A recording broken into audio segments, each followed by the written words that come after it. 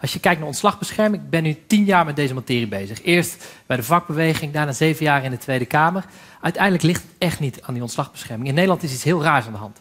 Mensen met de laagste inkomens die zijn het duurste voor werkgevers. Die moeten over dat salaris wel 20% premie betalen. En de meest de best betaalde werknemers, daar wordt maar 7,5% premie over betaald. Dat is ridicuul.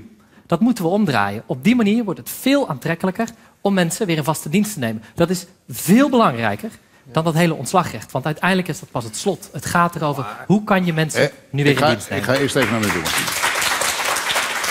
Kijk, eh,